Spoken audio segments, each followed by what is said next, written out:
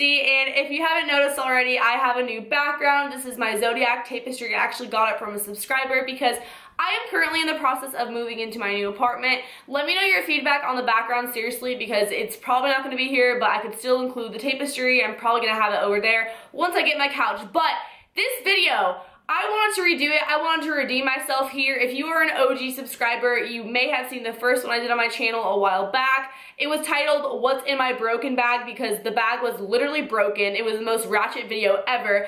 Literally filmed it in the dark, and I didn't even name the bag correctly. I said that it was Juicy Couture when it was really Calvin Klein or something along those lines. So many of you guys called me out for that in the comment section. So I am here to redeem myself that I'm able to do a successful What's My Bag challenge. And with school starting Monday, at least for my school, shout out to Shasta College, I thought it'd be cool to do a What's in My Bag back to school edition, so let's get into the video.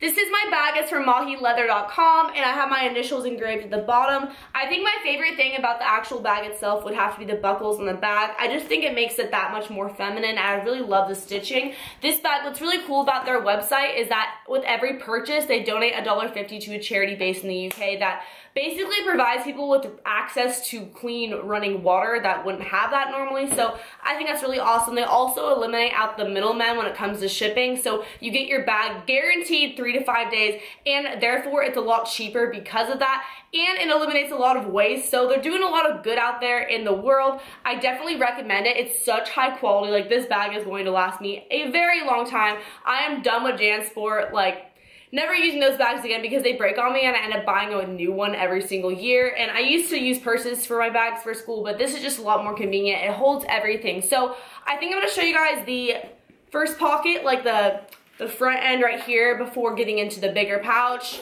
And I don't know, it's always interesting to see what other people have in their purses, their bags, etc. because like, I don't know, I feel like people have their own unique little things they carry. This is lipstick. I got it off Amazon. It's called, it's Kiki. That's the brand. So I don't really have a place to put this stuff. I'm probably just gonna like literally throw it over the camera. Uh, it's carpet over there. This is hardwood floor. I have a charger right here for my iPhone 6 and a pair of sunglasses that when I was in Ohio, I kind of stole them from the lost and found, but I mean, find, finders keepers, right? I don't know. I was using them and I forgot to give them back. So I have just cheap sunglasses I can get scratched up. I don't really care. This is a portable charger because, you know, your girl likes to use her phone and this way I don't, I'm not out of luck if my phone dies and I'm not at a place where there is an outlet. So yes, this portable charger is Bay. It is from mycharge.com or that's the brand name. I'm not really sure. This is some hand sanitizer because I'm a germaphobe and sometimes public restrooms are disgusting, so hand sanitizer is your best friend. Toss that over there. Deodorant, because, you know, and this one smells pretty good. It's Revive from Dove. This I have in my summer favorites video. It is from Scentbird, and so it's like that portable perfume. This one's like juicy portable perfume, but it's great to have on, you know, all times and keep you smelling real fresh, you know. This right here, okay, this is literally a lifesaver. Girls, I promise, like listen to me right here. I have no idea where I got this. I think I, I got it years ago, but it holds your jewelry. So right now in there, I have my little princess ring and a couple of diamond stud earrings that I pretty much wear every single day. I wear some form of little stud silver earrings. And that way you don't lose your jewelry if like you're going swimming or you want to take it off for some reason.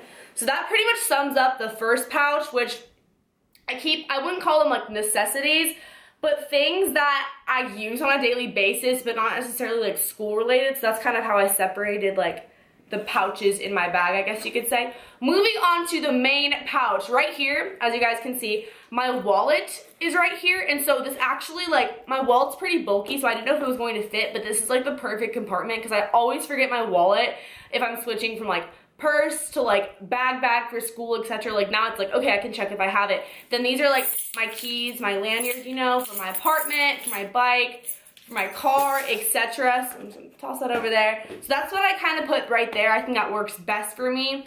And then as for the main pouch, actually there's a little zipper pouch right here. I'll show you guys that first. I was going to have like a pencil pouch I would put in this bag, but I realized I didn't actually need it because of this compartment, which is like awesome. So as you can tell, it's very high quality zipper. Like everything in this bag is like I couldn't ask for a better bag right now. And this holds all of, I have a couple sticky notes in here, but it holds like my pens. And I mentioned this in my rant video, my California rant video like a couple days ago. These pens from the Marriott Hotel, only pens I will use. I swear if you ever stay at a Marriott, steal all of their pens. They're the best. They don't smear anything. So yeah, I have those pens in here. Then I have my headphones because I know I should keep those in this compartment because they're not like school related, but I don't want them to tangle, so that's why I have them in there. And I think the brand of those are Skullcandy. Bunch of mechanical pencils, highlighters, nothing too exciting in there. Oh, some more sticky notes. So that's kind of it for that pocket. Big pocket now. And I really want to put your guys' drawings and letters, etc. in my binder, but I need to figure out a way to organize that because I don't want to like not like only put some but not others. But then I might do something where I make like a mural of your guys' letters on my wall so we'll we'll see. But I'm definitely gonna put something on it. Obviously this is my binder. I just picked this up at Walmart last night at about 4 in the morning if you guys saw me up on Twitter that late. And I haven't labeled my sections yet but I like these sections because it has the pockets which are really convenient and I have five sections because I think I'm taking five classes I need to double check yeah school starts Monday I have some lined paper right here. So I like to keep things pretty simple when it comes to my binder. And I'm sure I'll put books in here as I get my books, etc. for my classes because this fits a lot.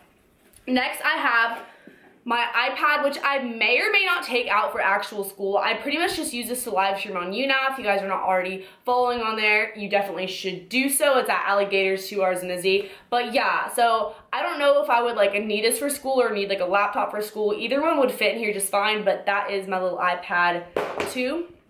Right here, I have a little Victoria's Secret pouch. I know I said that I don't have like a pencil pouch, but this is separate. This is more like girl stuff, you know what I mean? And like Kleenex, I have some ibuprofen, hair ties, chapsticks, so just some basic stuff like that.